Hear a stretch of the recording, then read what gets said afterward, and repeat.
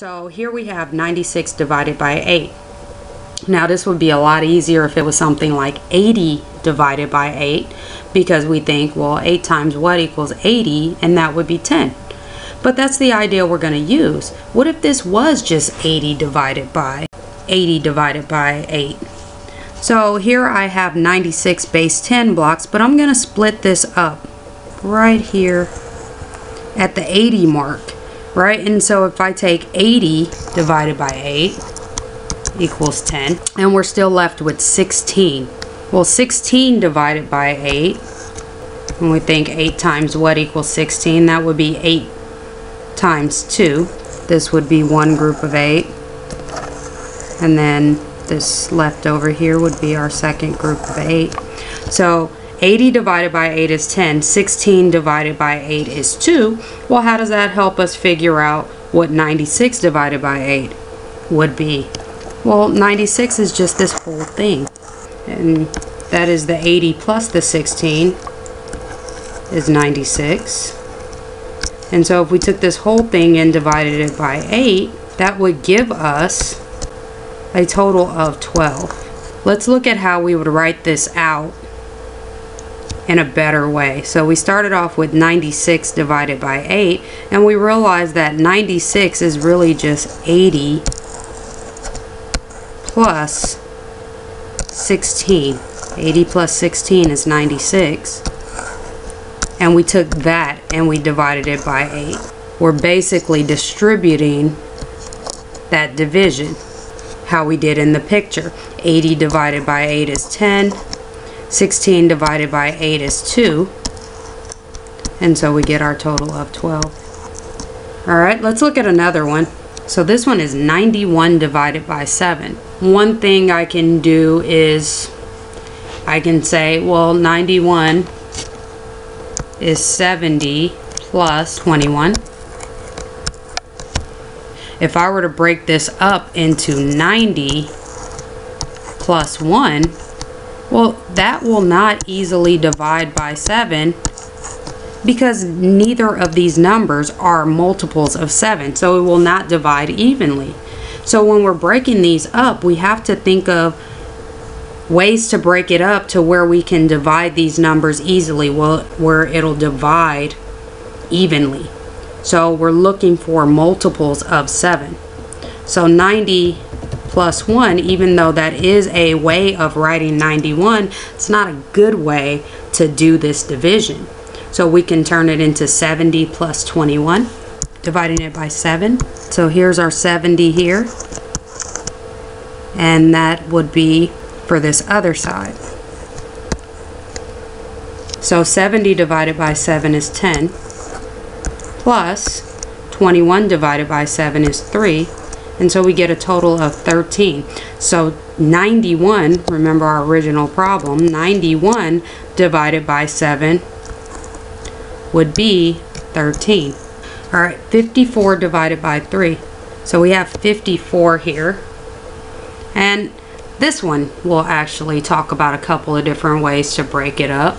I can turn 54, I can say 54 is 30 plus 24. We can say it's 33 plus 21. That would work as well because 33 plus 21 is also 54. I can also turn that into 27 plus 27.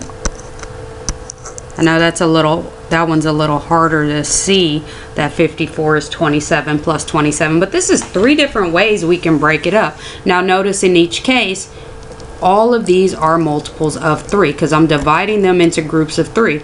And it doesn't help if we're trying to turn it into something like 50 plus 4 or 40 plus 14 because none of those are multiples of 3 and so they will not divide evenly. So remember when you're separating these we want to separate them into multiples of what we're dividing by which in this case is 3. This would be 30 divided by 3 which is 10 plus 24 divided by 3, which is 8, and that gives us 18. In this one, we turned it into 33 plus 21. We take that and divide it by 3. 33 divided by 3 is 11 plus 21 divided by 3 is 7 and we still get 18.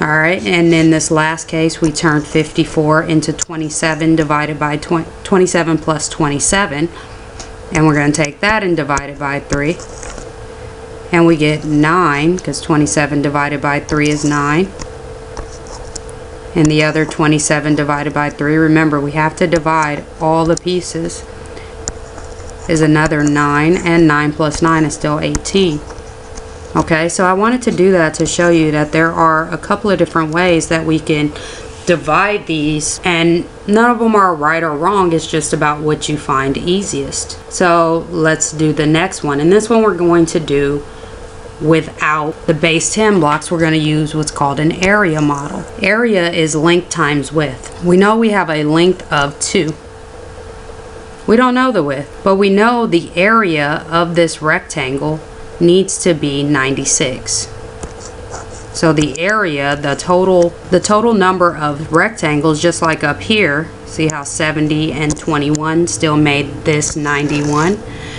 So it's kind of the same idea. We're just not actually drawing out 96 squares because that would take a long time. 2 times something equals 96. And so we're thinking, okay, well, let's see. Let's think of big numbers. Well, I can say that I know that 2 times 40 will give me 80. And so that's basically saying I took this 96 and I broke it up into 80 plus something. If I already found the length of this rectangle, which gives me 80, that means I have 16 left to divide up because 80 plus 16 equals 96. So I basically broke this up into 80 plus 16 divided by 2. So 2 times what equals 16? Well, that's going to be 8. So we see that when we divide this, we did 80 divided by 2, which gives us 40, plus 16 divided by 2, which is 8. That gives us 48. So 96, this total area of 96 divided by 2 is going to be 48. Because 48 times 2, I'm going to use 8 times 2 is 16. I'm going to use partial product for this one. So 8 times 2 is 16 and 40, remember this is 40, times 2 is 80 96 okay? And that's just a way to check and make sure we've done our work correctly. Let's look at the next one. So we have 84 plus 6 how should we divide this up? Well let's see. I know that 6 times 5 is 30 so I could break this up into 30 plus something. 30 plus what equals 84 well that'd be 30 plus 54 30 plus 54 equals that 84. I could have also turned this into 60 plus 24. Okay, and if you want to practice using the 60 plus 24, then you can try that way and see if you get the same answer I came up with. Okay, so 30 divided by 6 is 5 plus 54 divided by 6 is 9 and 5 plus 9 will be 14. So 84 divided by 6 is 14. Let's look at the last one. We have 72 divided by 3. I'm going to split this up again using the area model. A lot of classrooms, they want you to use the area model to show kind of a visual representation of your work. Alright, so remember we want it to turn this into, we want an area of 72. Well, let's see. Let's say 3 times 10 will give us 30. 3 times another 10 will give us another 30. And so total that gives us 60 But remember, we want 72. So we have 60 accounted for, and we're trying to get 72, which means, well, 72 minus the 60 we've already used is 12. So 3 times what equals 12, and that's going to be 4.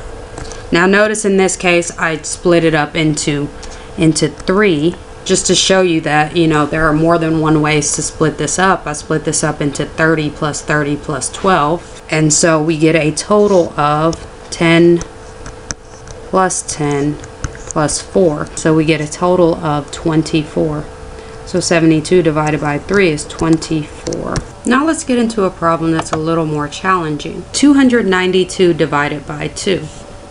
How do you think we should split this up? Well, I know I can do 200 divided by 2. We still have another 92 that we need to break up. Let's say that we break this up into 80. 280 and 292 minus the 280 that we've already used leaves us 12 to all be divided by 2. Alright, 200 divided by 2, well, half of 200, because we're splitting it between two people, would be 100. 80, if we want to cut that in half, that's going to be 40, because 40 times 2 is 80. And then 12, if we want to divide that by 2, is going to be 6. So we get a total of 100 plus 40 plus 6, which is 140. Let's look at another one. 132 divided by 3. First thing that comes to mind, remember we want 3 times something and we want to get close to 132. Let's say that I try and pull out 90. I want 3 times something to equal 132. And so we've already pulled out 90. 132 minus 90 leaves us with 42 left. And 42 may not be the easiest number, but from 42 I can pull out another 30. So that's a total of 120. And we're trying to get to 132, so that's going to be plus another 12. And all of that's going to be divided by 3. 90 divided by 3 is going to be 30 and then this will give us an this will be another 10 because 10 times 3 equals 30 and then for this one 3 times what equals 12 that's going to be 4 3 times 4 equals 12 so we get a total of 30 plus 10 plus 4 when we divide each one of these by 3 which 30 plus 10 is 40, plus 4 gives us 44. So 132 divided by 3 is 44. What we want to do when we're splitting these up is try to get as close to this number as we possibly can. So a better way to do that is to think that 3 times 30 is 90, but a better way we could have done it is to say, well, then 3 times 40 is 120. And we could have split that up with 120. We're going to do that with this last problem. So 765. If we think about it, we can say, all right, so 9 times 5 is 45, so 9 times 50 is 450. That doesn't get us very close. So let's move up. Let's say 9 times 7 well, 9 times 7 is 63, so 9 times 70 is 630. 9 times 80 is 720. That's pretty close. 9 times 90 is 810, and that's too much. So 9 times 80 would give us 720. So I want to break this up into 720 because I know 720 is a factor, is a multiple of 9. So if I break up this 765 into these little pieces, into 720 plus what gives us 765? Well then that means we have another 45 left. And now I'm taking these pieces and dividing those by 9. So 720 divided by 9 is 80, like we said before, plus 45 divided by 9 is 5. So 765 divided by 9 is going to be the sum of those, which is 85.